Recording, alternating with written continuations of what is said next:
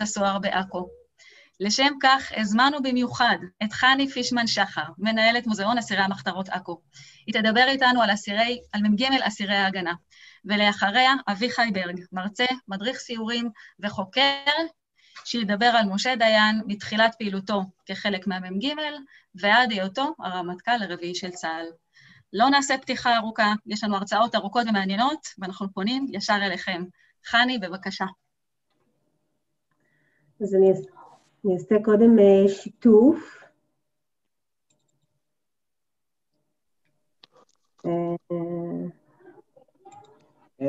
הדר, חני, רק כדאי להשתיק את המיקרופונים של כולם.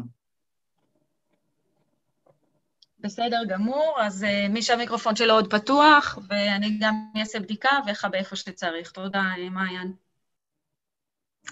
אוקיי, okay, אז uh, שומעים אותי? שומעים, שומעים. מעולה. אז uh, ערב טוב, uh, באמת uh, שמחה לראות uh, מבעד אומנם המסכים uh, הרבה מאוד uh, אנשים. מזה כשנה וחצי אני מנהלת את אה, מוזיאון אסירי המחתרות אה, עכו. בעבר ניהלתי את אה, מוזיאון ג'וארה. ההרצאה הזאת היא, היא סוג של סגירת מעגל, כי את פרשת המ"ג פגשתי אז בג'וארה כשהם היו חניכים בקורס המפקדים, והיום אני פוגשת את הסיפור שלהם בעיקר כאסירים בכלא עכו. אה, מוזיאון אה, אסירי המחתרות עכו, כאמור, גם הוא אה, מוזיאון של יחידת המוזיאונים, יחידת המורשת והמוזיאונים במשרד הביטחון, שנמצאת באגף משפחות הנצחה ומורשת, והמוזיאון מספר את סיפורם של כלל אסירי המחתרות, ההגנה, האצ"ל ולח"י. ובעוד שרבים נוטים להכיר ולדבר על סיפור פריצת כלא עכו, הרי ההירואי, אני חייבת להגיד, שהוא בעיקר הסיפור של אצ"ל ולח"י, הרי שאני באה להעיר באמת היום על הסיפור של אה, אסירי ההגנה. המספר שלהם יחסית לא היה גבוה בבית הכלא, אה, יחסית למספר שלהם אה, בחוץ, והפרשה הזאת אולי לא הפרשה הכי הכי גדולה בכל תולדות ההגנה, אבל היא נמצאת או, או, או מגיעה באיזושהי תקופה שהיישוב היהודי אה, מקבל, הייתי אומרת, אפילו איזושהי סטירת לחי אה, מאותו שלטון אה, מנדט בארץ ישראל, ואני כאן לעמוד על הפרשה הזאת של אסירי המ"ג. ואני רוצה להתחיל בזה שאני קודם כל אקח אתכם אה, דווקא לעדות אה, שאנחנו מקבלים אה, ממשה כרמל, אסיר מ"ג, והוא פותח את ספרו ואומר, רק היום, או כותב יותר נכון, רק היום באו לידי פרון ונייר ואשב לכתוב, זוהי עובדה מוחשית וכבדה, אני כותב לך, כותב לך פעם מן הכלא. אקרא לך אשנב, זה לא טעות, אל עולם זר ומשונה ואפל ומדהים ודבוי, בואי עמי ועציץ בו, אספר את הקורות אותנו בימים האחרונים. ואני רוצה להזמין אתכם באמת אה, לבוא ולהצטרף אליי לימים של אותה אה, פרשה. ואנחנו אה, חוזרים אה, אחורה בזמן, לאמצע שנות ה-30, מאורעות 36-39, אה, המאורעות האלה אמ, אנחנו יודעים שהערבים אה, מפנים אה, לא רק את אה, זעמם כלפי היישוב היהודי, אלא גם כלפי המנדט הבריטי, והדבר הזה גורם לשיתוף פעולה מאוד מאוד גדול בין היישוב היהודי וההגנה לאותו שלטון מנדט בארץ ישראל, ואנחנו רואים את זה באמצעות הנוטרים שקמים, אה, פלוגות השדה שקמות, פלוגות הלילה המיוחדות אה, של אור צ'ארלס אה, וינגט, ובאמת שיא, אני חושבת, אחד השיאים הגדולים של שיתופי הפעולה קורים בדיוק בתקופה הזאת. שיתוף הפעולה הזה מקבל איזושהי תפנית בשנת 39', אנחנו ממש לקראת סוף המאורעות, עם הגעת הספר הלבן, יציאת הספר הלבן השלישי.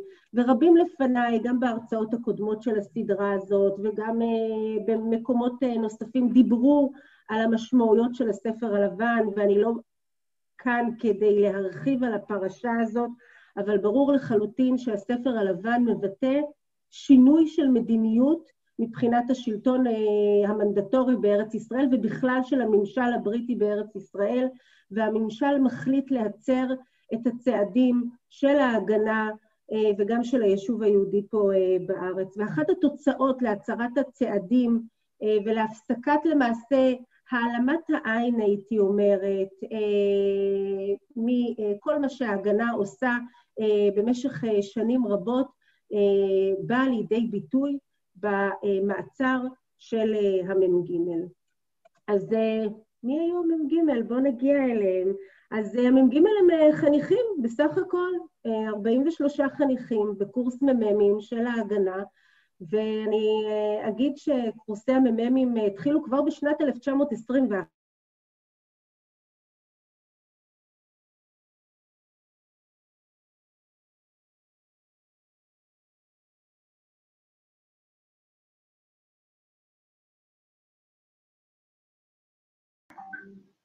חני עברת למיוט. עכשיו שומעים אותי? אוקיי, פשוט פתאום הופיע לי איזושהי הודעה כזאת שלא שומעים אותי. אמ, הייתי בקורסי המ"מים ואני אגיד שברור אה, אה, לחלוטין, הקורסים האלה אה, הם קורסים שמתחילים, כמו שאמרתי, מ-21 עד 48, לאורך השנים עובר, עוברים התפתחויות שונות, ואני לא כאן לצערי גם כדי להרחיב על קורסי המ"מים, אלא רק לדבר על אחד יחיד ומיוחד שעומד במרכז הפרשה שלנו היום. אני כן אגיד שמרבית או חלק נכבד אה, מקורסי אה, המ"מים, למה זה לא עובד? רגע.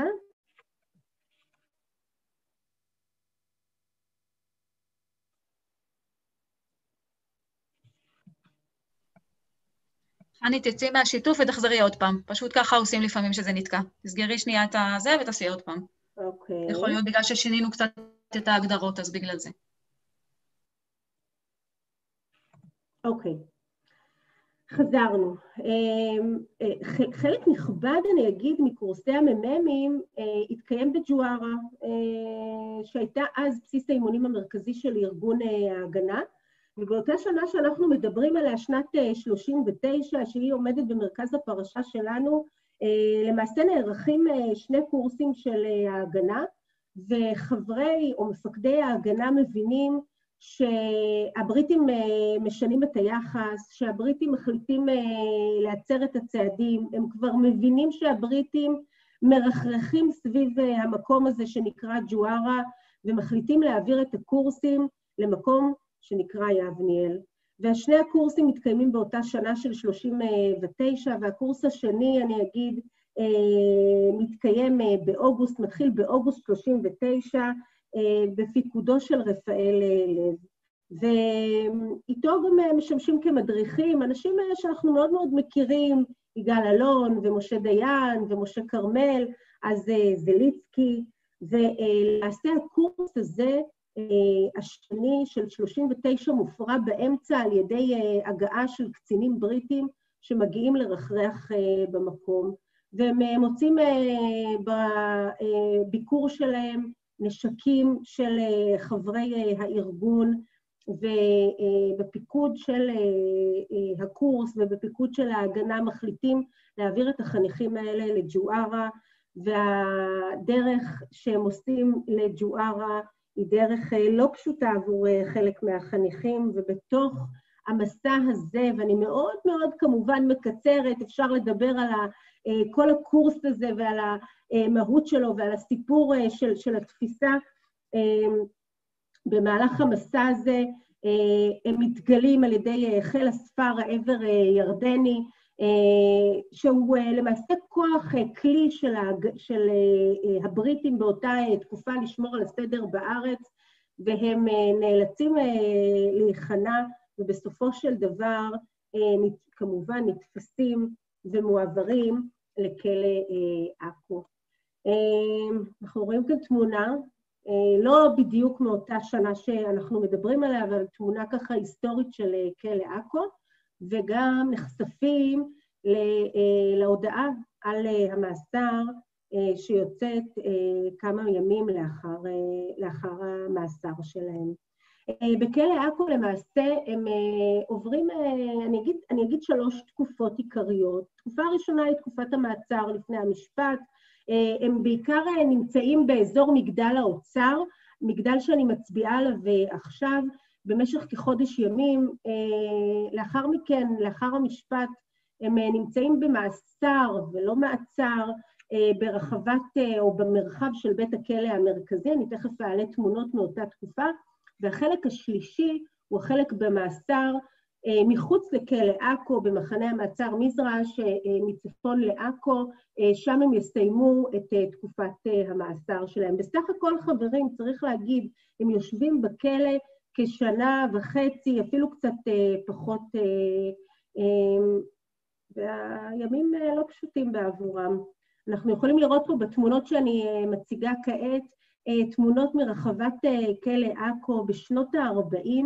אנחנו יכולים לראות פה את רחבת הכלא, את האגף המזרחי שאני מצביעה עליו עכשיו, הוא האגף של האסירים היהודים, האגף הדרומי, דרך אגב, משמש לאסירים הערבים. על המפגש הראשון עם מגדל האוצר, אני רוצה להקריא לכם קטע שכותב משה כרמל. עתה הובלנו אל המגדל, הוכנסנו לתוך חדר המדרגות מתפתל, והתחלנו לעלות בהן. פה בתוך החומות האבות האלה, בתפילת הלילה הזה, אתה מופקר לחלוטין. אין דין ואין דיין. אין שום זכויות חוקיות, אנושיות, מוסריות. אתה קורבן להשתוללות לא מרוסנת של מומחים במלאכת העינויים והסחיטות ללא כל אפשרות ואמצעים להתגוננות. וחשוב להגיד שבבית המעצר הזה חברי הקבוצה עוברים חקירות שהן לא ממש רשמיות, בעיקר בלילות, די מפחידות, אבל הם נהנים באותה תקופה על פי חוק לעצור שמחכה למשפטו. הם מתארחים בבגדים האזרחיים שלהם, האוכל מובא אליהם מבחוץ, ניתן להם יחסית בשפע למה שהם יפגשו לאחר מכן, אפשר לבקר אותם בתדירות יחסית גבוהה, ורוב היום הם נמצאים מתחת מה שנקרא לשמיים הפתוחים, על גג מגדל האוצר. על הגג הזה הם יחרטו חריטות שונות, ואני רוצה לחשוף אתכם קצת לחריטות שאנחנו מכירים מכלא עכו, חריטות שקשורות למ"ג, למעשה כמעט כל קבוצה שיושבת במגדל הזה משאירה לנו חריטות, ואנחנו ממש בימים אלה עוסקים בשימור שלהם. כחודש לאחר הגעת הקבוצה לכלא עכו, אנחנו יכולים לראות שהם מובלים למשפט 25 באוקטובר, ממש כ-20, פחות מ-20 ימים לאחר ההגעה שלהם.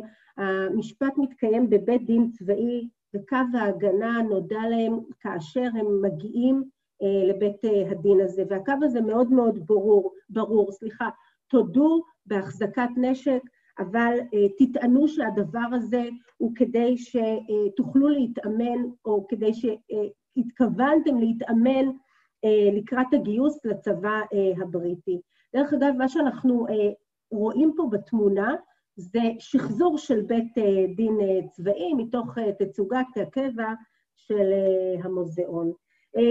אחרי שמיעת עדויות, ממש כמה ימים לוקח לבית הדין לשמוע את כולם, והחברים שלנו ב-30 באוקטובר מקבלים את גזר הדין שלהם, וגזר הדין שלהם הוא ממש ממש לא פשוט. הם אשמים, אחד מהם נידון למאסר עולם, אבשלום טאו, וכל השאר נידונים לעשר שנות מאסר.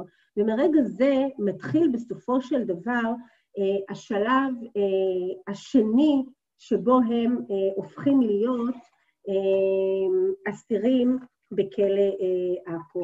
אני רוצה להקריא בזריזות את מה שכותב נוח דגוני, אסיר, גם הוא אסיר בכלא עכו, אסיר מ"ג, והוא אומר את הדבר הבא כאשר הם הופכים להיות אסורים. המעבר החד ממצב של עצירים למצב, למצב של אסירים טפח על פנינו. היינו כאנשים נדהמים, כולנו התכנסנו בתוך עצמנו, רק הפסיעות הרחבות והמדודות אנה ואנה בתוך החדר יכלו להעיד על המתרחש בליבנו פנימה. את מיטב שנות נעורינו יהיה עלינו לבלות בין כותלי הכלא החשוך אה, הזה. אה, לא פשוט, לא פשוט לחברים שלנו. אה, מבחינת אה, יחס הבריטים, ואני נכנסת קצת, אה, מה שנקרא, למה שעובר על הקבוצה הזאת בתוך כלא עכו הידוע לשמצה. אז בבית הכלא למעשה ניתן, לא ניתן באמת להצביע על איזשהו דפוס אחד של התנהגות מצד הבריטים כלפי האסירים. ממש על ההתחלה הם פוגשים את אחד מהסרג'נטים שאומר להם, רצוני להגיד לכם רק אחת, אף שהלבישו אתכם בגדי פושעים פליליים, אל תראו עצמכם ככל הפושעים פה. אסירים פוליטיים מנכם, אף שהחוק דן אתכם כפליליים. אה, דיבר על זה מי שכן היה בהרצאה הראשונה של הסדרה, דיבר על זה אה, יורם, אה, היחס לאסירים האלה, אנחנו מתייחסים אליהם כאל אסירים פוליטיים, אבל היחס אליהם היה כאל אסירים פליליים לכל דבר, והסרג'נט הזה מבטא איזשהו קו יחסית ככה מנחם בעבור האסירים, אבל חשוב מאוד גם להגיד שהחברים שלנו נוהגים בבית, בבית הכלא על פי הכלל של כבדהו וחשדהו, כל הזמן, לאורך כל התקופה. לפעמים הם יכירו או יפגשו את הסוהר, את השוטר, את המפקד הטוב, ולפעמים הם יפגשו את המפקד הרע. אה, דרך אגב, הקטע השני מדבר אה, אה, על תפיסה של משה דיין. באחד הימים הוא נתפס שהוא עסוק בקופסאות שימורים, ומהר מאוד מביאים אותו למפקד הכלא, הוא נשפט, מקבל יומיים בצינוק, 24 נקודות, שזה אומר הארכת המאסר למעשה במספר ימים. ואומר אה, נוח דגוני, זה האחרון, היה מלא סיפוק על שעלה בידו לתפוס אחד אה, משלנו. אמ, אני רוצה לדבר על היחסים בתוך הקבוצה. אה, ומהרגע הראשון חשוב להגיד, החברים שלנו מתנהלים כקבוצה ומקבלים החלטות כקבוצה. וכבר בזמן המעצר הם מכנסים ישיבה ומחליטים על קבוצה מצומצמת של אנשים שתייצג אותם. חשוב להגיד שמדי פעם הם מתכנסים שוב ומחליטים על קבוצה אה, אחרת, אבל במהלך כל תקופת המאסר הם יושבים באותו תא ומתנהלים ביחד ומקבלים החלטות אה, ביחד. אה, מעניין אה, לקרוא את אה, דבריו של משה כרמל, שדווקא אה, לא בטוח אה, שאותה קבוצה של מפקדים שפיקדה עליהם מחוץ לבית הכלא בקורס המפקדים, היא זאתי שבהכרח חייבת להיות אה, זאת שתפקד עליהם או תוביל אותם בתוך הכלא, והם מתדיינים, אני יכולה לספר לכם, מתוך העדויות על העניין הזה.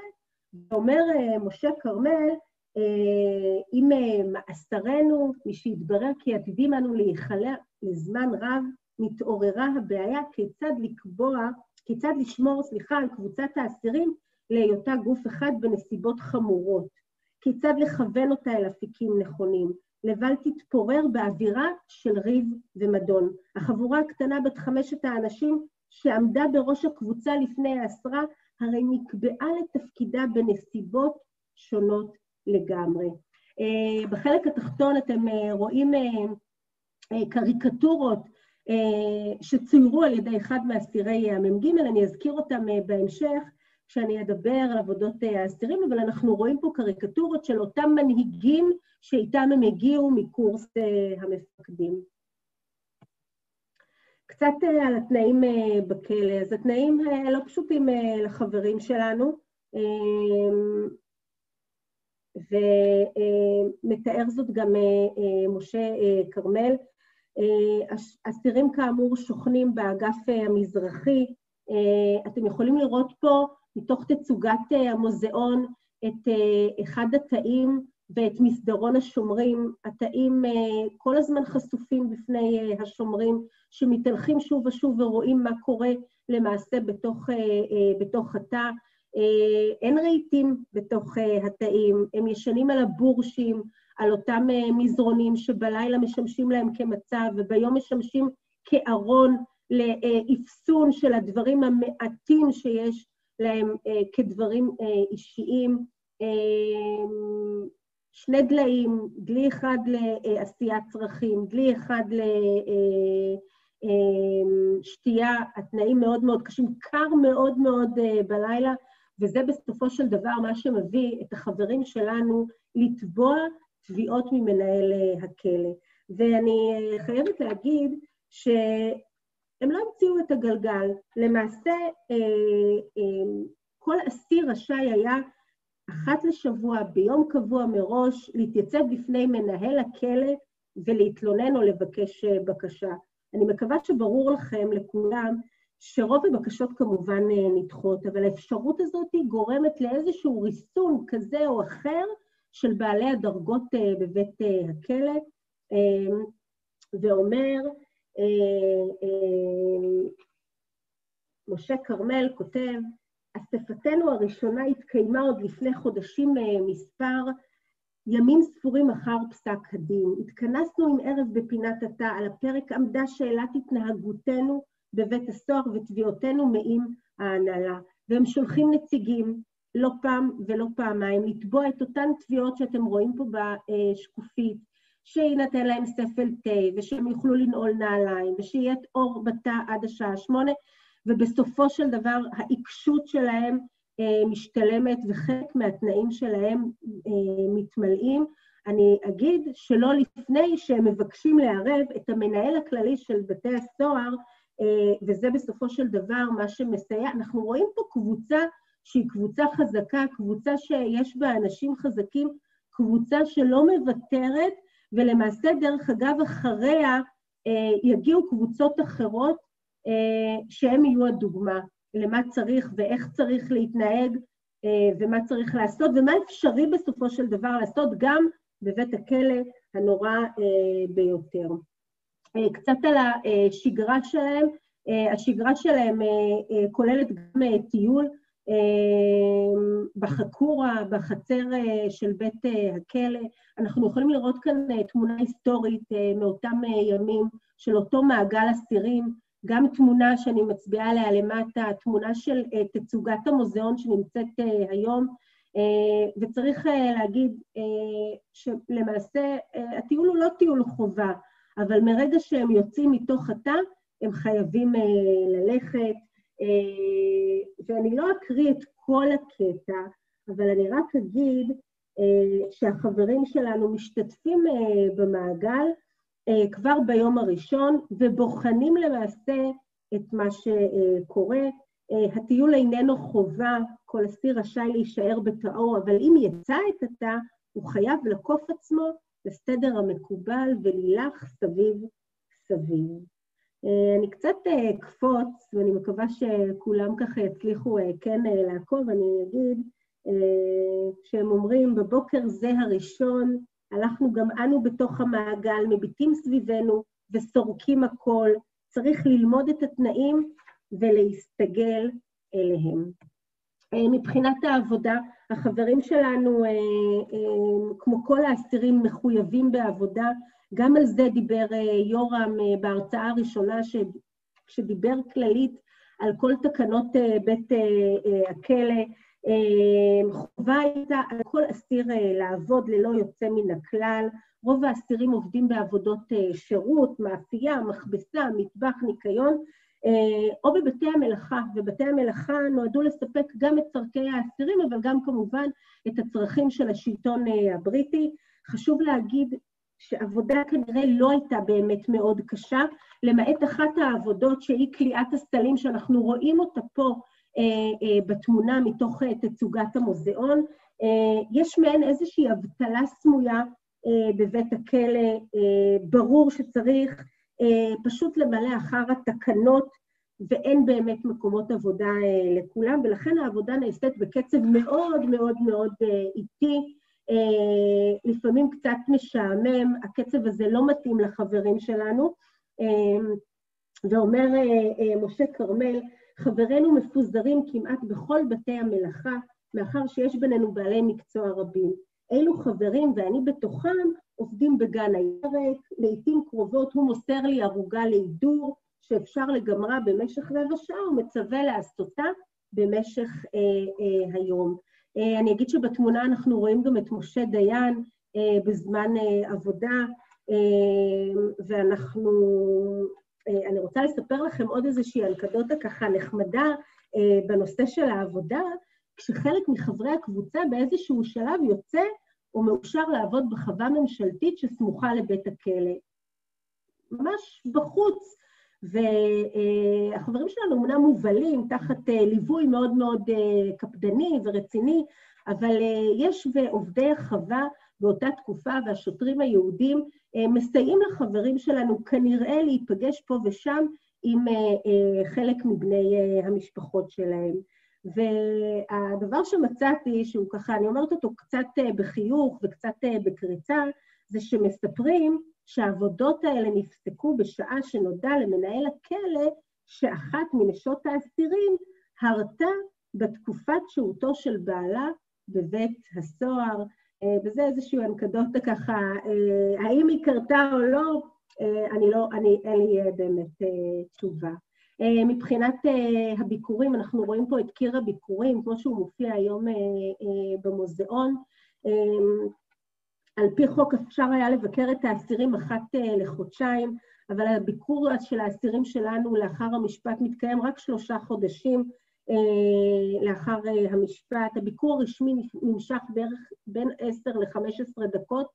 אפשר לראות בתמונה למטה, זו תמונה שלקוחה מהמיצג המרכזי של המוזיאון, את האסירים שלנו, כמובן מדובר פה בשחקנים, את האסירים שלנו שנמצאים מאחורי גדרות אה, אה, התיל, חוטי התיל, את המבקרים שנמצאים אה, למעלה, המבקרים תמיד יהיו יותר גבוהים מאשר האסירים, זה נועד ליצור תחושה של השפלה בשביל האסירים, ואני לא יכולה שלא לדבר על רות דיין. רות דיין, שהלכה לעולמה ממש לפני, לדעתי, שבועיים, משהו כזה, אולי אפילו פחות, רות דיין מבקרת את אה, בעלה משה דיין עם בתה יעל ועם אה, אמו של משה, והיא מתארת ביומנה את הביקור הראשון.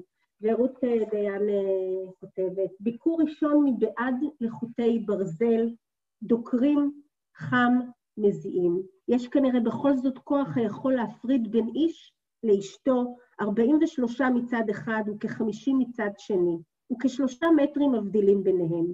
אין אפשרות לעודד ואף לא ללחוץ יד באמונה. ושוב נסגרות מאחורינו דלתות הברזל בצלצול עמום ומלא הד של דורות על דורות של אה, אסירים. אז אה, זה ככה אה, קטע מדבריה של רות דיין. מבחינת תרבות הפנאי, החברים שלנו עסוקים בקריאה ובלימוד וביצירת מלאכות שבסופו של דבר הן אה, אה, מגיעות אה, לקרובים שלהם, לאישה ולילד שהם מתגעגעים אליו. החברים שלנו, כמו שאמרתי, גם מציירים ציורים וכותבים שירים, ואנחנו באמת רואים פה את אותן קריקטורות שצוירו על ידי ישעיהו גינסבורג, דינור, והופיעו בסופו של דבר, לאחר עשרים שנה, באלבום אה, אסירי המ"ג, אה, האלבום הזה ממש אה, נמצא כרגע אצלי, אל תספרו שהוצאתי אותו, אני מבטיחה להחזיר אותו מחר למוזיאון, אבל זה איזשהו אלבום מקסים שאפשר לצפות פה במרכז המידע של המוזיאון. והחברים שלנו מוצאים, מוצאים מה לעשות, הם בעיקר משתמשים בעץ, כי זה החומר גלם היחידי בערך שהם יכולים להשיג בתוך הכלא, והם מייצרים ספינות, אווירונים, רכבות, מסגרות לתמונות, ומה, ומה לא. מבחינת היחס הנהגת הארגון והציפיות של האסירים, אני אגיד, אני אגיד משהו ככה כללי. לאורך כל התקופה, ממה שקוראים, אנחנו נחשפים לתחושות שהם מרגישים שהם קצת נזנחו. אני, אני לא בטוחה שהם מרגישים את זה כל הזמן, אני לא בטוחה שזה באמת נכון ושזה מגיע מצד כולם. אני אגיד שהם מתרעמים ברמה כזאת או אחרת על זה שהשביתה הכללית אחרי פסק הדין שניתן להם, שהיה מבחינתם באמת מאוד מאוד חמור וגם הארץ כולה געשה, בסופו של דבר השביתה הזאת אורכת רק שעתיים, ואנחנו יכולים לראות כאן במצגת את אותם כרוזים שמעידים על השביתה, ויש בהם איזשהו משהו שאומר האם זה מה שמוכנים לעשות בשבילנו.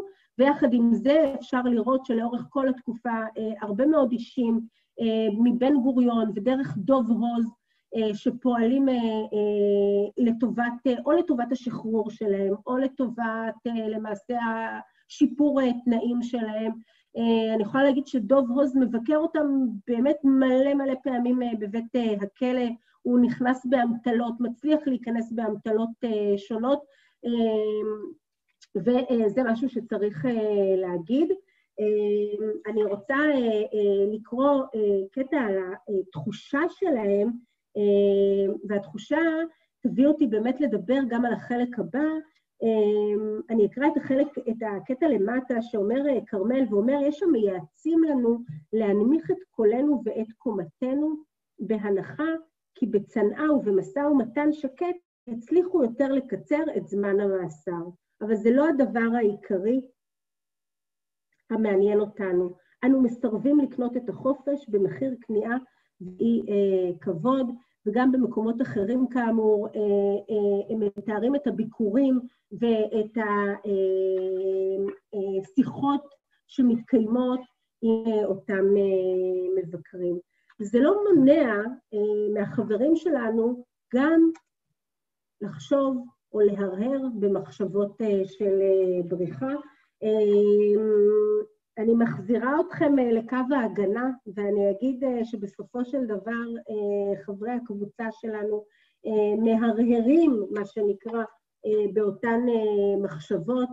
הקו אז היה מאוד מאוד ברור, ולהבדיל מאנשי לח"י ואנשי אצ"ל, שכל הזמן מתנהל איזשהו דיאלוג בינם אה, בתוך הכלא ובין אה, אה, האנשים שבחוץ, ההנהגות של הארגונים, בנוגע לבריחות, הרי שחברי הקבוצה באמת מבינים שאין להם באמת איזשהו שיתוף פעולה מבחוץ בעניין הזה, והמנהיגים שלהם דווקא באים ומנסים לשכנע אותם שלא יעזו אה, לברוח.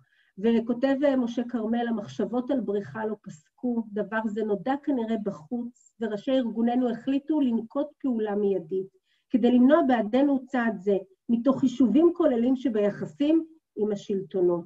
וכך זכינו לביקור בין כותלי הסוהר של אחד מהעומדים בראש ארגוננו, ויתר ביקש אורחנו לשכנענו בנימוקים של מדיניות, כי נזנח מחשבות של אה, בריחה. אמ, השחרור שלהם, אה, אה, הם עוברים כאמור אחרי חמישה חודשים אה, לבית המעצר במזרע, התנאים שם הם תנאים אחרים. דרך אגב, לא פשוטים גם כן כמובן, אבל כמובן כלא עכו הוא, הוא כלא הרבה יותר אימתני מבחינתם, אה, ואת אה, באמת מרבית המאסר, וצריך להגיד את זה, הם אה, מעבירים באותו בית מעצר במזרע. יום השחרור שלהם בסופו של דבר מגיע, זה חלק שוב מאיזשהו שינוי של מדיניות הממשל הבריטי, גם ואולי לאור ההתגייסות בזמן המלחמה לצד בריטניה.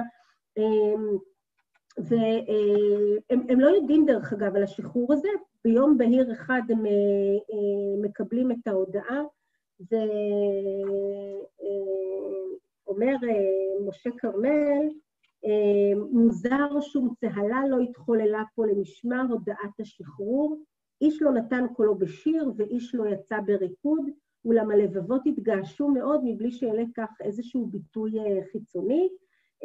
אני ככה קצת מדלגת, והוא כותב, האוהב אדם זיכרונותיו, וקשור בהם גם עם הרימם, שלום ילדי הרוח הכלואים.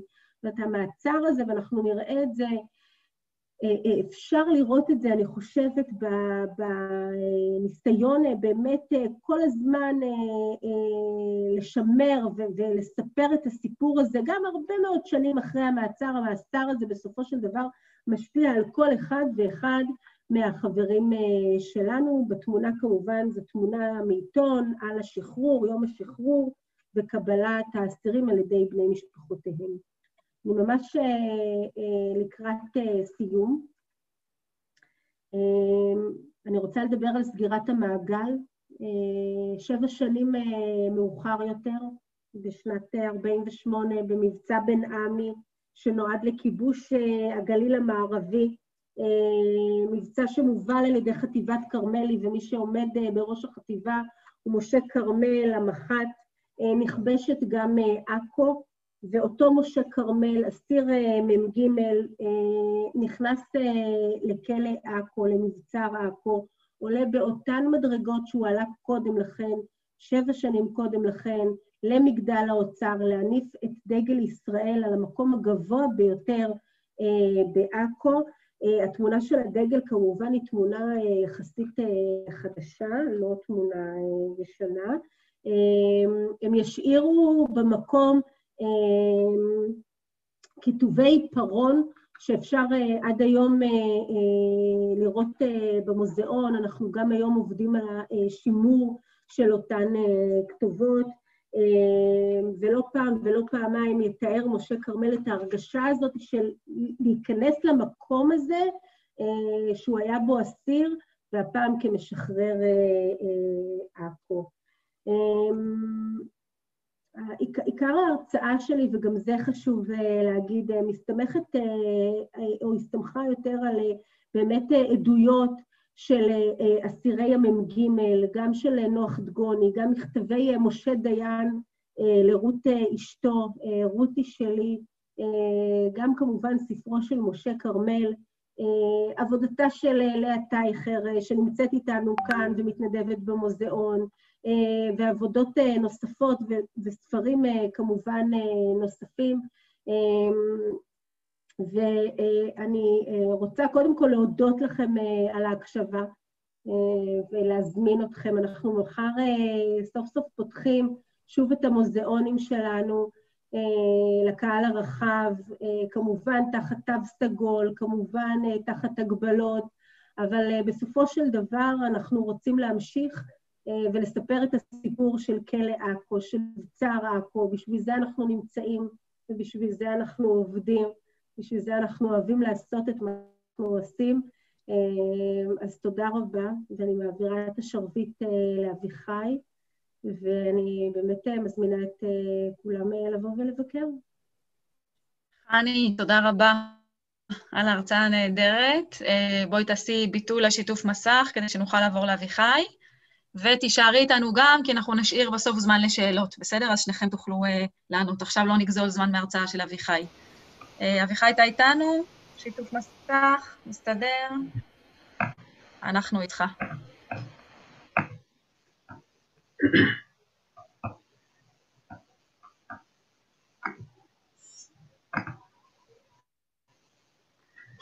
שלום לכולם, תודה לחני, תודה להדר.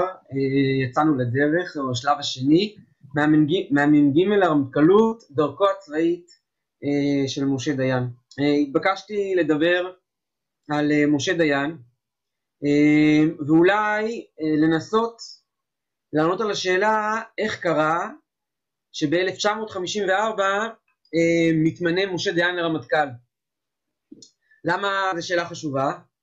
כי בתחילת מלחמת העצמאות, משה דיין הוא בתפקיד מקביל לרב סרן, הוא עובד תחת יעקב דורי, בתפקיד לא קרבי, בתחילת מלחמת העצמאות הוא תפקיד מקביל לרב סרן, כלומר, לא, לא, לא, לא, לא מפקד בכיר, אמ, אמ, עובד במשרד תחת יעקב דורי הרמטכ"ל, ובסוף מלח...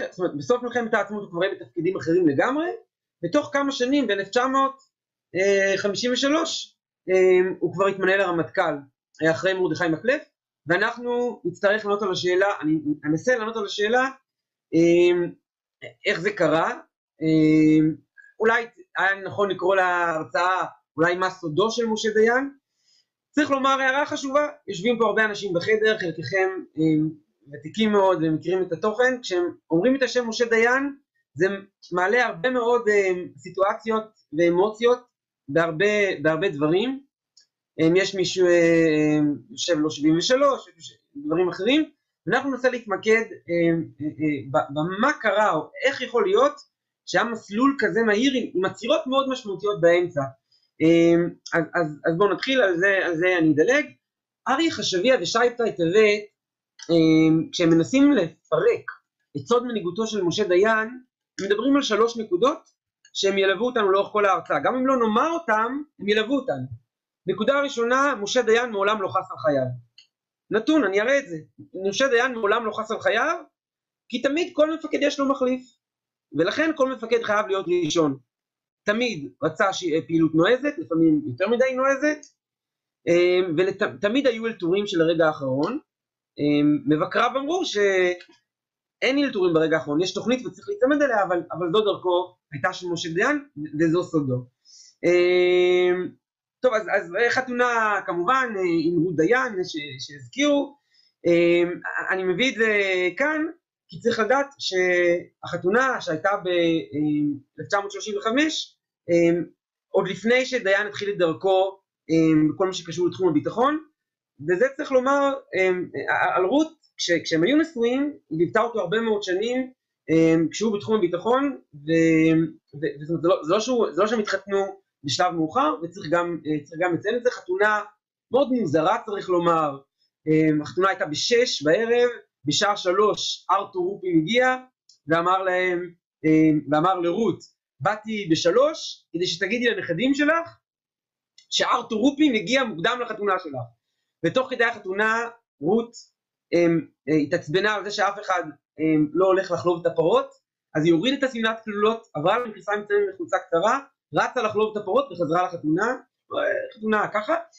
למה זה לענייננו זה חשוב? כי אחרי החתונה ההורים של רות בלי להיכנס ככה לפרטים, לחצו על דיין לנסוע לאנגליה אה, לימודים אקדמיים, הם אמרו שכן, הם היו אריסטוקרטים בירושלים, הם בני המשכילים מאוד, הם רצו אה, שהוא ייסע לאנגליה אה, ללמוד שפה, ללמוד תארים, והזוג המלכותי נוסע לאנגליה, וחצי שנה של ניסיון להתקבל ללימודים אקדמיים היו לדיין too much, כלומר על כל המשתמע, הוא הצליח ללמוד אנגלית, אבל, אבל מעבר לזה זהו, הוא חוזר, הוא עוזב, הם עוזבים את אנגליה, זה לא בשבילו, אמ, הוא מגיע לכאן, ואז אמ, אנחנו, הוא הגיע למרד הערבי הגדול, צבא הבריטי מחפש מורה דרך, ודיין שמונה חודשים מורה דרך אמ, לצבא הבריטי בכל מיני משימות, משם הוא יעבור לנוטות, סליחה שהזמן לרעתנו, אני לא אגיד את זה יותר, אבל הזמן לרעתנו, משם הוא עובר לנוטרות, אמ, ומשם הוא יעבור לפלוגות השדה, וכאן אנחנו רואים את העלייה לחניתה. והעלייה לחניתה, שימו לב, אנחנו עוד לפני המ"ג, העלייה לחניתה היא קריטית להבין את מה שאני רוצה לומר לכם פה בהרצאה. מה יש לנו פה בעלייה לחניתה? כמובן 21 במרץ 1938, אמ, אחד מהאירועים המכוננים בתנועה הציונית, אה, יצחק שדה, האבא הגדול, המפקד הגדול, הרב הגדול, אה, עם שני תלמידיו, עם שני תלמידיו, אמ, מצד שמאל שלו אה, יגאל אלון, מצד ימין שלו דיין, הם, הם, הם שני חניכיו, הם יהיו, הם ילוו אותו, כלומר כל פעם שהוא ירצה לעשות משהו חדש, הוא ייקח אותם איתו, את שני החבר'ה האלה. כמובן שאלון ודיין הם, הם די מתחרים, התחרו הרבה מאוד שנים, גם בפוליטיקה. אני מביא כאן את התמונה כי שימו לב מה קורה. סוף מלחמת העצמאות, אלון בדרך מחוץ לצה"ל, שדה בוודאי שמחוץ לצה"ל, ודיין אה, רץ קדימה, ועל זה נצטרך לעמוד. כלומר, התמונה הזאת היא מאוד מאוד חשובה להבין את מה שאנחנו אה, רוצים. אני חייב לדייק, דיין לא היה בפלוגות הלילה, בפלגות הלילה של וינגייט, דיין היה בפלוגות השדה, כשווינגייט סיפח בחלק מהפעולות שלו הם חיילים מפלוגות השדה, או מפקדים מפלוגות השדה, וזאת נקודה אה, מאוד מאוד חשובה, ש, ש, ש, אה, רק שנייה, אני מקווה שאתם רואים, קפץ לי פה משהו. אה, אה, אה, למה זו נקודה חשובה?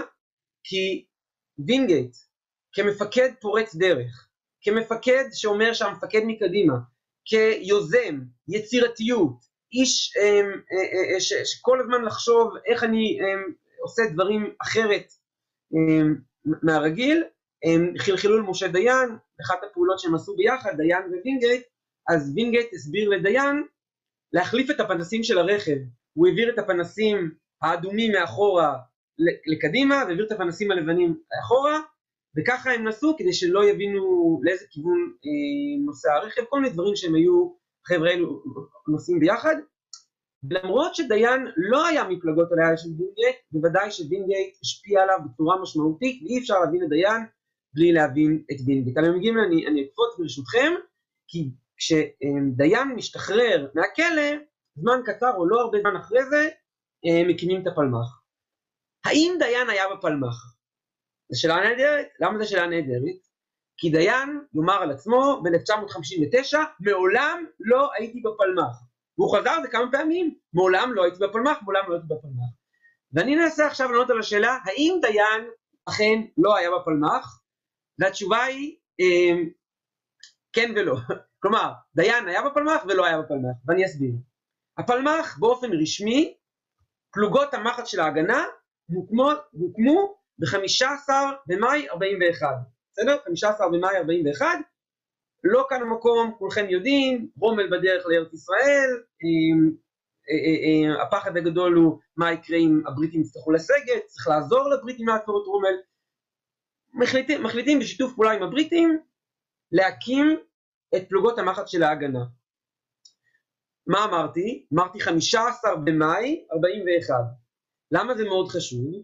כי שלושה ימים אחרי זה תצא אונייה לכיוון טריפולי, ללבנון, לפגוע שם בנפט, אמ, אונייה שתקרא כ"ג יורדי הסירה, היום יש שמנסים לומר, אסור להגיד כ"ג, זה כ"ד, כי היה גם קצין בריטי. לענייננו יצאה אונייה שכל מי שהיה בה, הוא לא יודע, אבל הוא הפעולה הראשונה של הפלמ"ח. השם הפלמ"ח לא קיים עדיין, הם, הם, אין להם מושג שהם חלק מהפלמ"ח, אחד מהדברים שיעצבו את כוח המגן העברי, אבל הם למעשה, למפרע, הם חלק מהפלמ"ח מבלי שהם יודעים שם הפלמ"ח. הם כמובן, כולנו יודעים שהאונייה נעלמה בנסיבות מסתוריות, ועד היום אף אחד לא באמת יודע מה קרה שם. מה התאריך? כמו שאמרנו, 18 במאי. בואו נקפוץ עוד חודש קדימה, בשבעה ביוני 41, חודש וקצת אחרי הקמת הפלמ"ח, מתבקש, מתבקש, מתבקשת ההגנה להעמיד עשרה מורי דרך לחטיבה אמ, אה, אה, בריטית, שמעורבת מכל מיני חיילים אוסטרליים, חיילים בריטים, אבל להצטרף לחטיבה בריטית, להיכנס לתוך לבנון כדי להדוף את הצרפתים שמתקרבים ומשתלטים על לבנון, השלטון, הש... המשטר השיעי וכל מה שקשור לשם, צריך לעצור את זה. למה אני אומר את זה? כי מתבקשים לתת עשרה מורי דרך, מפה לשם, ההגנה מצרפת אנשים, מצרפת אנשים, וזה גדל לשתי פלוגות. קטנות, אבל שתי פלוגות. פלוגה אחת בפיקודו של יגאל אלון, ופלוגה אחת בפיקודו של משה דיין. זה נכון שהם לא יודעים שהם פלמ"ח, אבל הם הפלמ"ח, כלומר, הם הכוח שזה מה שהיישוב החליט יחד עם הבריטים להקים את הכוח המגויס של ההגנה. זה נהדר, כי הם קיבלו משימה להיות מורי דרך, סיפורים סיפורים שונים, נקצר, נכנסים לתוך, אה, לתוך לבנון, דיין, התפקיד של דיין יחד עם קבוצה זה להגיע אה, מצפון לראש הנקרה, ללכת על כביש החוף אה, הלבנוני, אה, להשתלט על כמה גשרים, לוודא שהצרפתים לא מגיעים אליהם, לתצפת לכיוון כוחות צרפתיים. הכוחות מגיעים לשם, הם מגיעים לגשר, הצרפתים לא מגיעים, הם עוברים לאיזושהי תחנת משטרה להשתלט עליה, ושם מתפתח קרב מאוד משמעותי מול כוחות צרפתים. דיין מגיע לאחד מהקצינים הצרפתים שהוא הרג, לוקח לו משקפת, לוקח את המשקפת המאוד משוכללת של הקצין, של הקצין הצרפתי, נעמד על תחנת המשטרה ומשם מנהל אש עם הצרפתים. עכשיו, כאן אני מתנצל על קצת תיאורים גרפיים, אבל אני חושב שזה חשוב לדמותו של דיין. כשדיין מתצפת לעבר הכוחות הצרפתיים, כדור פוגע במשקפת שדרכו הוא תצפת לעבר הכוחות, המשקפת נכנסת לתוך ארובת העין, שוברת לו את כל ארובת העין, סליחה על התיאורים, אני, אני מתנצל, זה לא יהיה הרבה, כל מה שיש בתוך העין נשפך לתוך המשקפת, דיין מנסה להוציא את המשקפת, והעסק תקוע. העסק תקוע לדיין בתוך המשקפת, בסדר? והוא בתוך לבנון, אין בית חולים קרוב, אין פינוי מוסק. קיצור, אה, מתחיל מסע שבו מפנים את אה, אה, דיין לכיוון הארץ, קח הרבה מאוד שעות, הוא מועמס בראש הנקרא על אמבולנס בריטי בדרך לחיפה, תוך כדי נסיעה מבקשים המלווים שיקחו אותו לא לבית חולים הצבאי בחיפה, אלא לבית חולים בחיפה, ואכן לוקחים אותו לבית חולים הדסה בחיפה, Um, הוא מגיע ומבינים שהם מיד צריכים לנתח אותו כדי להוציא את המשקפת. Um, בשלב הזה דיין חוזר, עד כל הזמן הזה דיין לא דיבר ועכשיו הוא חוזר לדבר והוא ביקש מהאחות מים. וזה תיאור שמופיע בכמה מקומות, הוא ביקש מהאחות מים. והאחות אמרה לו, אסור לך לשתות, כי אם אתה תשתה, אתה תקיא. אתה תקיא. כשדיין שומע אותה אומרת את זה, הוא פשוט נבח, סליחה על הזה, הוא פשוט נבח עליה. הוא אמר, תגידי לי, באתי לטפל במעיים שלי? באתי לטפל בעין, תביא לי מים. והאחות כל כך נבהלת שהיא מגישה לו כוס מים, דיין אה, אה, נכנס לחדר ניתוח, מוציאים לו את, אה, מוציאים לו את המשקפת.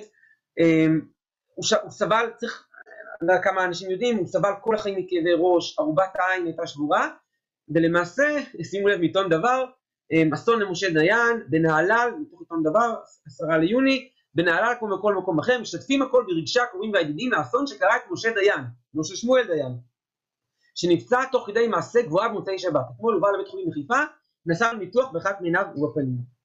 כל ערובת עין של דיין אה, אה, לא קיימת, ולמעשה אי אפשר, בדרך כלל נוהגים לשים עין מזכוכית, אבל אי אפשר לשים אפילו עין מזכוכית, כי כל הערובה שבורה, אז למעשה אין, אין ברירה לשים רתיעה, מה שיהפוך מאוד מהר, כמו שרואים כאן בתמונה, אה, לסמלו המסחרי, ויש הרבה שיאהבו לומר שדיין דאג שהסמל המסחרי הזה יטופח. מה קורה מהרגע שדיין נפצע? הוא למעשה מפסיק לפקד על פלוגה קרבית, הוא היה הרבה, צריך לומר, היה הרבה חודשים בטיפולים, הוא היה הרבה אצל ההורים של אשתו בירושלים, הוא נכנס ובא לבית חולים, כאבים, היה לו המון, סליחה על התיאורים, המון הפרשות שיצאו החוצה, והוא מבקש תפקיד, ונותנים לו כל מיני תפקידים בהגנה, והוא עובר מתפקיד לתפקיד, דברים שקשורים לתחום המודיעין, דברים שקשורים לתחום הסזון, שלצערי אין לי פריבילגיה במסגרת של הזמן הזה אה, לעסוק בזה. אמ, אמ, לקראת מלחמת העצמאות הוא התמנה לקצין מטה יעקב דורי לעניינים ערביים, וכל הזמן הזה הוא לא קרבי, כל הזמן הזה הוא לא קרבי. צריך לומר שהידע שלו בסדאות מאוד מאוד גדול, כל מה שקשור לסדאות וצבאיות. חני הזכירה את אה, קורס המ"כים וקורס המ"מים, כשדיין היה בקורס מ"כים, וכשהוא פיקד על קורס מ"כים, הוא כתב חוברת צדאות לאיש ההגנה, בסדר? החוברת הזאת שכתב מדריך בקורס מ"כים, הגיע ליעקב דורי, שהיה אז עדיין לא רמטכ"ל, היה מפקד חיפה, אבל מי שהיה, דורי ב-39 היה אמ, אמ, אמ, אחראי על ההדרכה בהגנה, דורי לוקח את החוברת הזאת והופך אותה לחוברת הרשמית של סדאות בהגנה. אז אנחנו מבינים של, שלדיין יש לו ידע של איך מתפעילים שדה ואיך מנהלים תרגיל ומה זה שדאות, ו, וזה לא מנותק ממנו, אבל הוא, אבל הוא במטה. אבל הוא במטה. אה, פרצה מלחמת העצמאות, דיין צמוד ליעקב דורי כיועץ לענייני ערבים, בסדר? דיין צמוד ליעקב דורי כיועץ לענייני ערבים.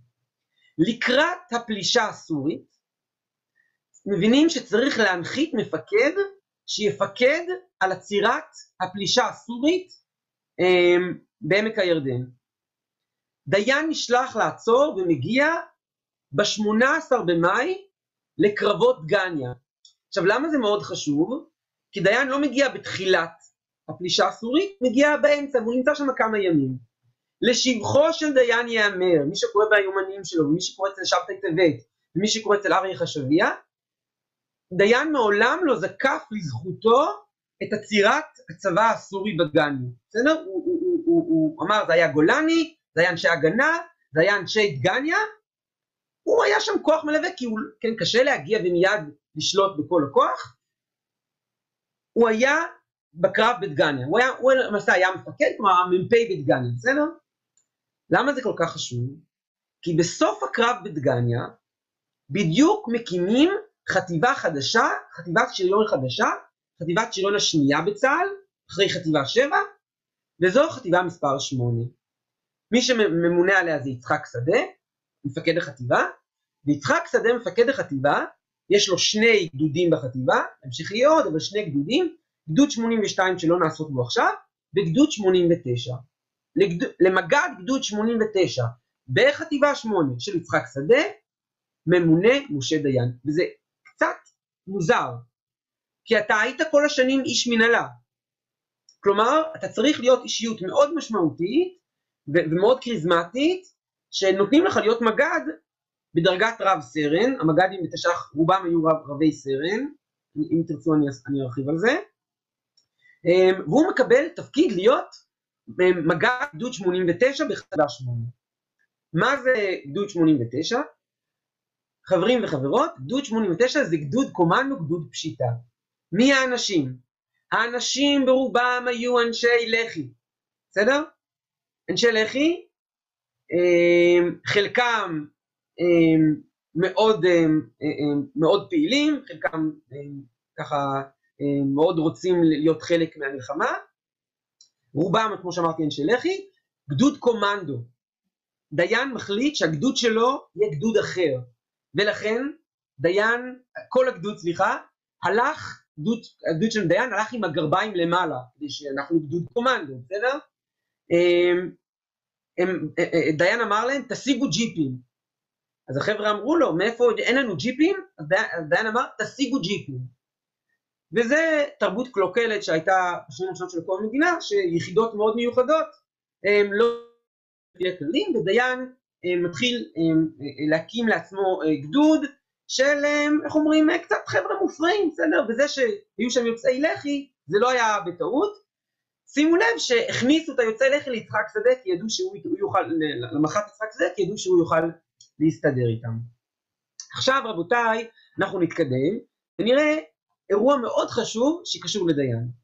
זה כמובן מיקי סטון, דוד מרקוס, האלוף הראשון בצה"ל, שב-11 ביוני הגיע בארצות הברית להתנדב, לתת כתף, סליחה שאני לא יכול לספר עכשיו את הסיפור שלו, רק אספר שהאלוף הראשון בצה"ל, מי שהיה אלוף חזית המרכז או חזית ירושלים, קיבל שלושה כדורים בלב בטעות מהשומר, השומר התחלף, 12 בלילה, 11 ביוני, הפוגה הראשונה, ומיקי סטון, דוד מרקוס נהרג. השם שלו דוד מרקוס, הוא השתמש בכינוי מיקי סטון בארץ. עכשיו צריך להטיס אותו, הארון שלו היה בבצלאל, רואים את הארון יוצא מבצלאל, וצריך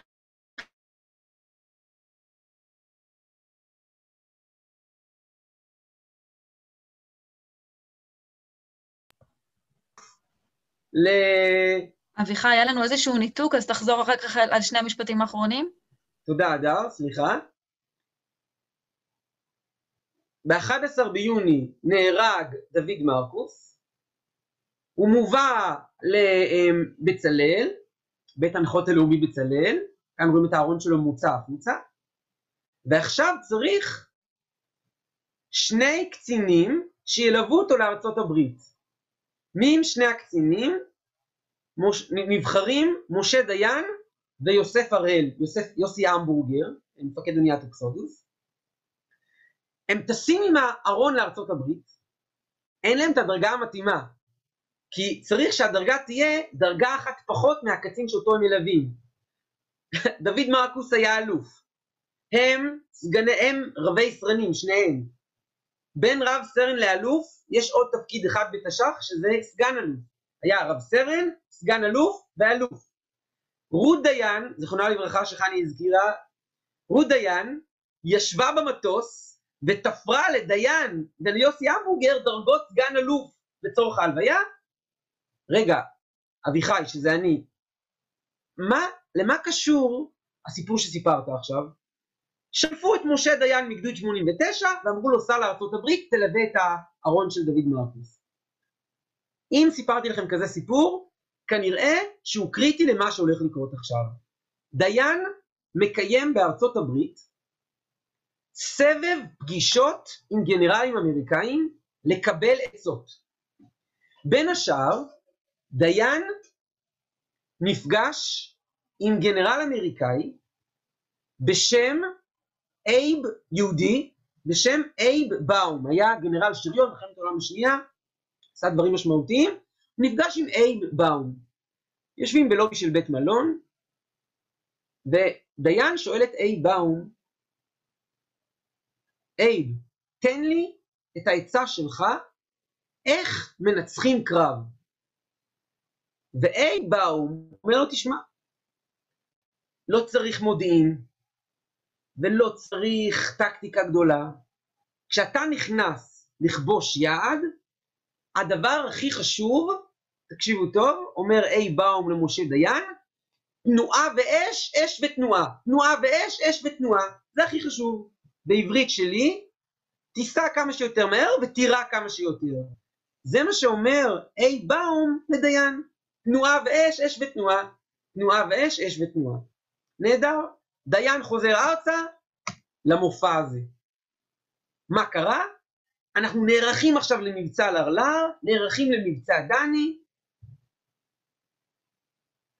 מבצע שלא היה עד עכשיו כזה מבצע, יגאל אלון פיקד על ארבע חטיבות בו זמנית, מצד אחד חטיבה שמונה, מצד אחד חטיבת אלכסנדרוני, חטיבת יפתח, אה, חטיבת קרייתי מצד אה, מערב, והמטרה הייתה לאגף את לוד ורמלה, כשבשלב מסוים מפקד חטיבת יפתח, או אחד הגדודים, סליחה, בחטיבת יפתח, אומר שהוא הסתבך בקרבות לוד.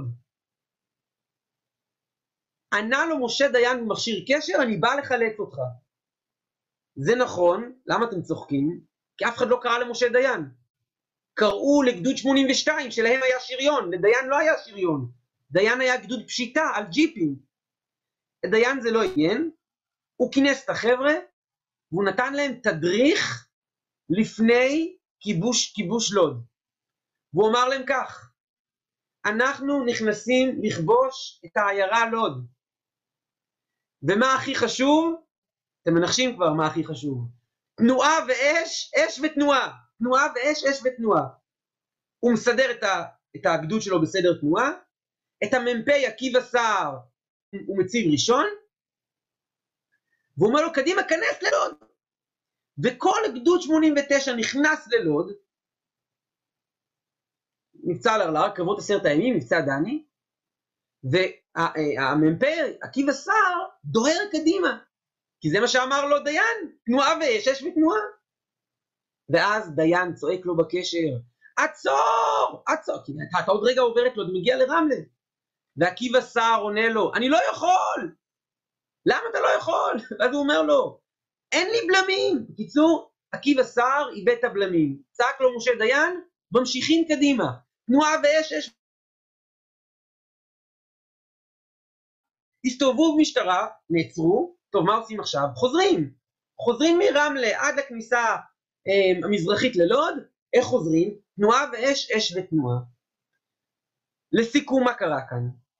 ב-47 דקות ותשעה הרוגים לגדוד של משה דיין, 47 דקות ותשעה הרוגים, דיין כבש את העיירה לוד.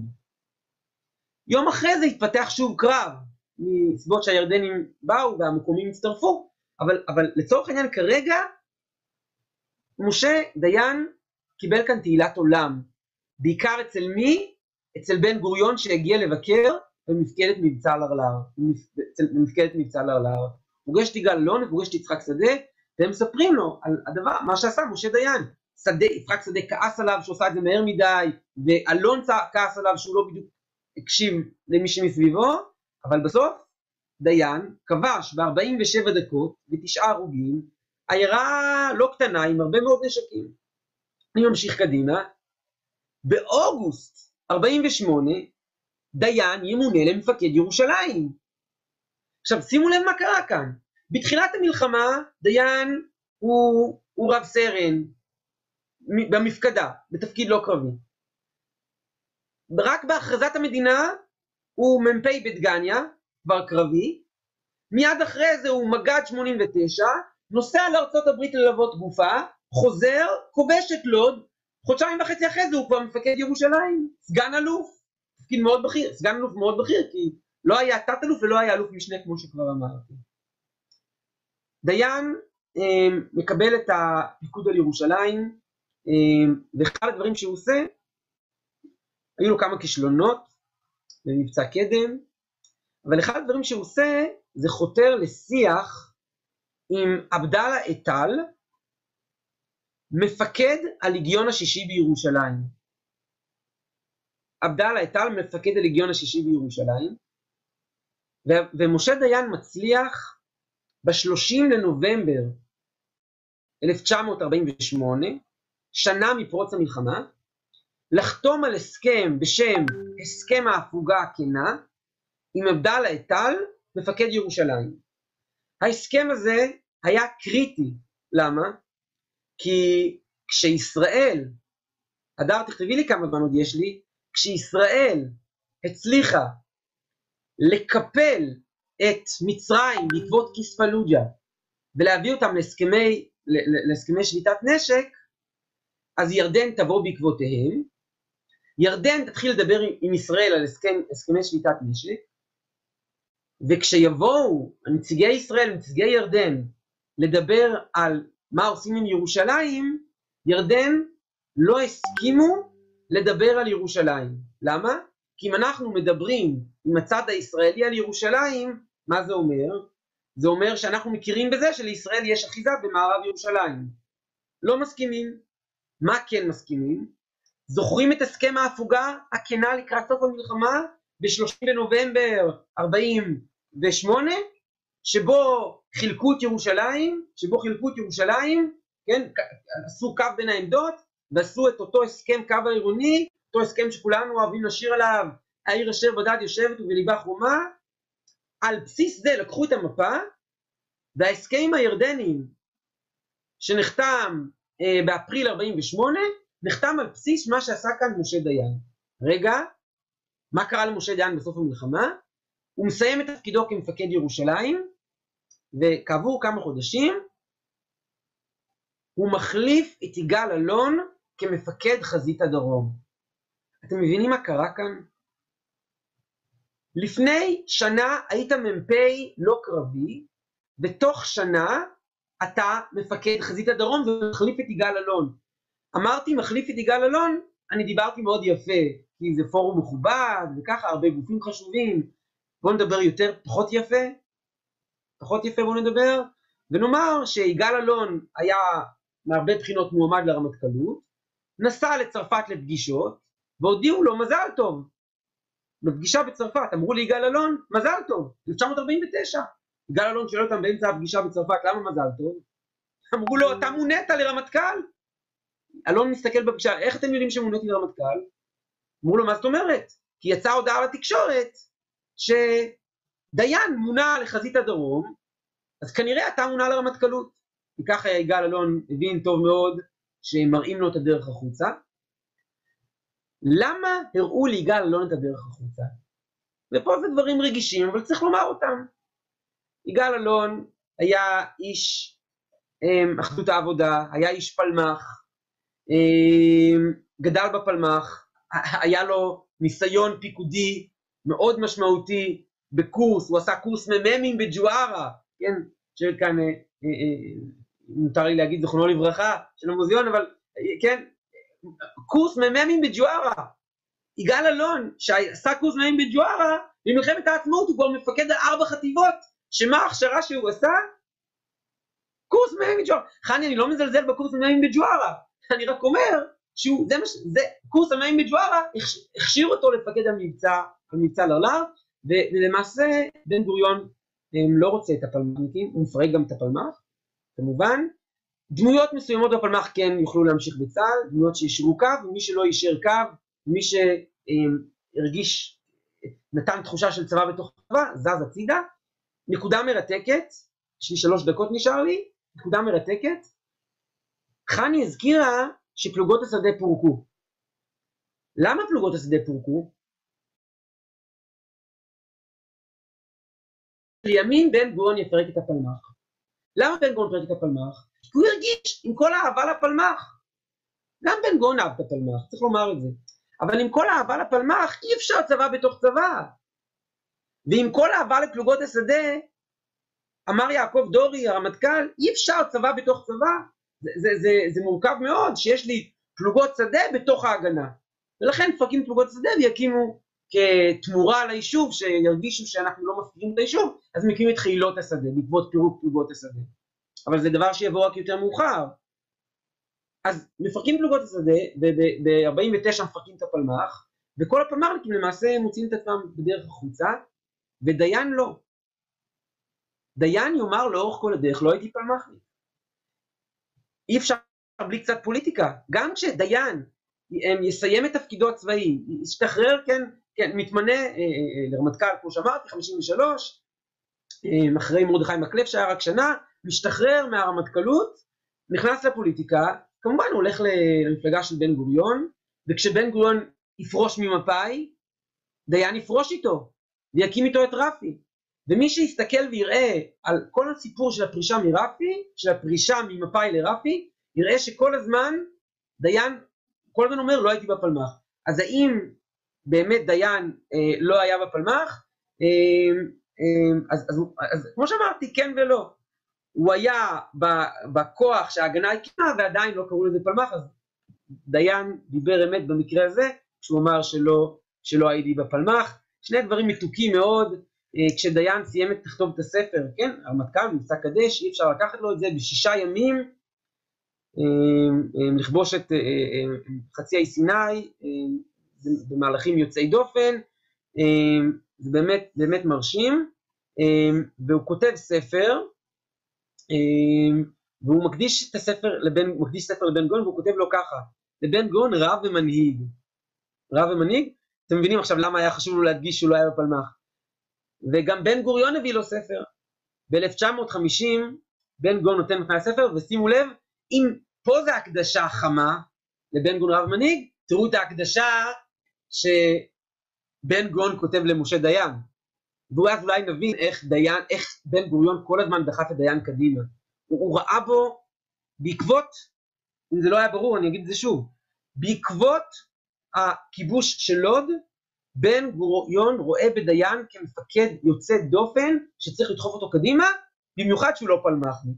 אז שימו לב, אמ, הספר להילחם אמ, ישראל של בן גוריון, למשה דיין, הלוחם הנועז ורב התבונה, בחיבה ובהוקרה אמ, דוד בן גוריון. המצגת ממשיכה, אני, אני אעצור כאן. אז למעשה ניסינו לסגור את המעגלים. חני פתחה את המעגל של ג' וניסיתי לסגור, אז לקחנו את אחת הדמויות, את בן, וראינו מה קרה, שב-1954 כל כך מהר הופך להיות רמטכ"ל מהמשמעותיים ביותר שקיימים. אה, תודה לכולם. מקסים, מקסים. וואו, תודה רבה, אביחי, מקסים. סגרת לנו ממש מעגל. אה, חני, אני מזמינה אותך לפתוח מיקרופון, אה, אני אקריא את השאלות בצ'אט אם יש. ניתן לשניכם הזדמנות לענות, ואתה יכול גם לסגור את השיתוף, אז גם טוב, נראה את, שני, את הפנים של שניכם. בסדר? אם יש שאלות, אז uh, נשמח uh, לאפשר לענות. פרגונים תמיד יתקבלו בברכה, אנחנו נקרא בצוותא, זה, זה, זה תמיד טוב. Uh,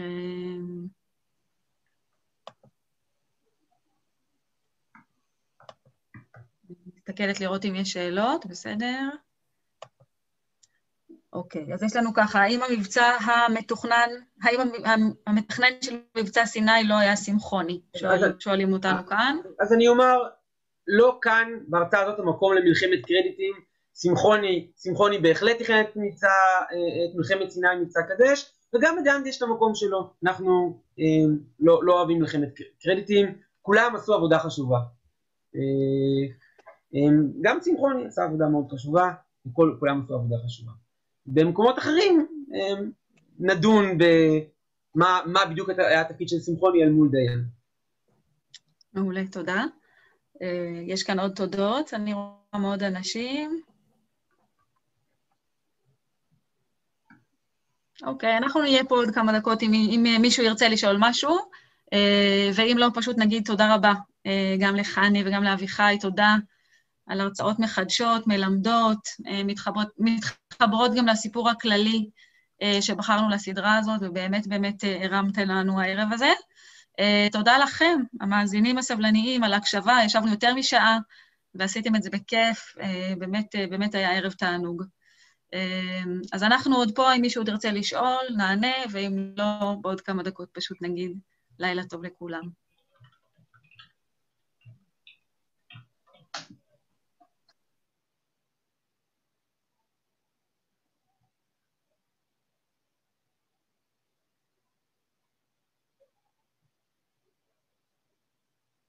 פלג, נראה לי תכתוב, פשוט יותר פשוט, עד שאני אמצא אותך בתוך כל המיקרופונים.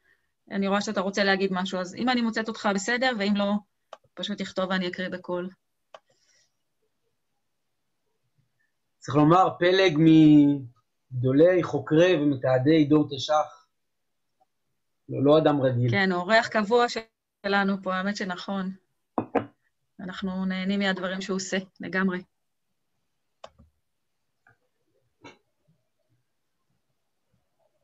גבריאל, אני רואה שגם הרמת יד, רצית גם להגיד משהו? לא, קרה נראה בטעות. בסדר? אה, הנה אתה פלג, עכשיו אני יכולה לעשות אותך unmute. הנה, נראה לי אתה יכול לפתוח את עצמך. או, יופי, אהלן פלג.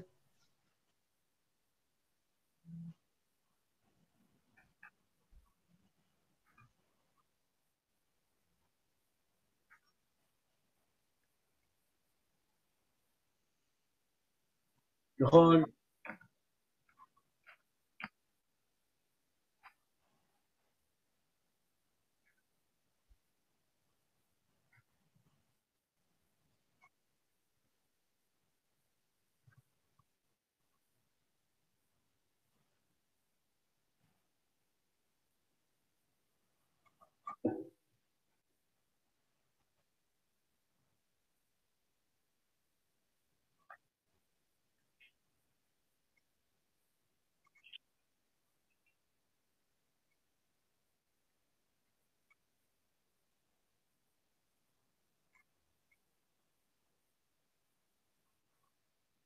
אין, אין ספק, אני חייבת uh, להגיד לך שאם uh, היית רואה את ההרצאה הראשונה שלי, uh, את, את הטיוטה הראשונה, אז כל כך רציתי לדבר גם על החלק הזה, אבל האמת שפחדתי מהדר, זו, זו הסיבה האמיתית, שפשוט אמרה לי, חני, את לא, את, את לא מרחיקה, ו... אמ, זה חלק מהמגבלות של אה, באמת אה, להרצות, ויש כל, היה לי כל כך הרבה גם מה להגיד, ולכמת את זה לכמה משפטים של מה בדיוק, בסופו של דבר, כאילו, מה, מה החשיבות של הקבוצה הזאת, של המאסר שלה, והיא לא הייתה, דרך אגב, אה, וזה משהו שאולי לא אמרתי, אבל היא, היא הייתה הראשונה, אבל היא לא הייתה האחרונה. באו אחרי זה גנוסר ובן שמן, ואת כולם אנחנו בסוף פגשנו, פוגשים בעכו. אה, או בירושלים כמובן, אבל אה, אה, הזמן הקצר לא אפשר לי להרחיב בעניין הזה, אבל אולי בפלטפורמה אחרת, כשהדר לא תהיה, אז אני אוכל לדבר קצת יותר באריכות. אבל תודה.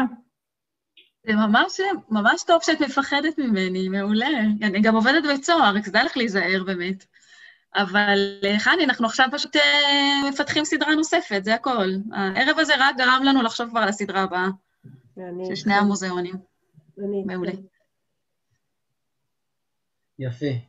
טוב. יופי. יאללה, חברים, תודה לכולכם. לילה טוב. תודה לאדם.